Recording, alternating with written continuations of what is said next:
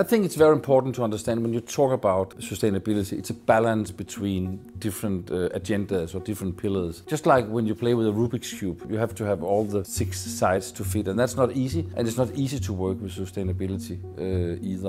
When Brundtland uh, invented uh, the term sustainability, uh, for her, it was very important that there was a relationship between social sustainability, economical sustainability, a climate or environmental sustainability, and in, in context, we add a cultural dimension because the old buildings, old architecture, things created earlier uh, is, is also very important to have in that uh, equation. It's better to take smaller and wiser steps holistically than it is to take one big step on one of the agendas and risking to, to make a drawback uh, on the others. And, and that way of, of talking about sustainability is for us uh, very important.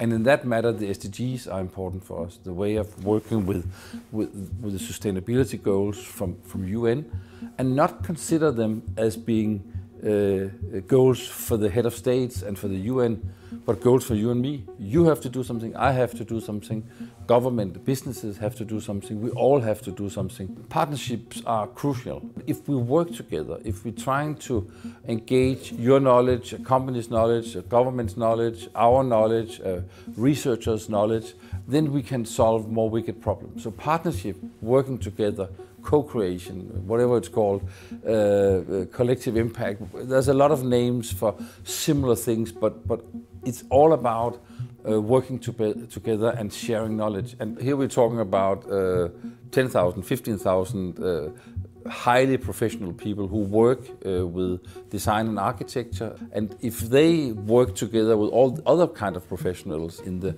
built environment, that, that can be fantastic. And having them in Copenhagen, having them coming here, uh, sharing knowledge with each other, picking up knowledge from Denmark, giving knowledge to Denmark, that's fantastic. And after Corona and uh, some years without seeing people except on, on Teams and uh, Zoom, uh, it's going to be fantastic to meet so many engaged professional people who work with a dedication about creating better life for people.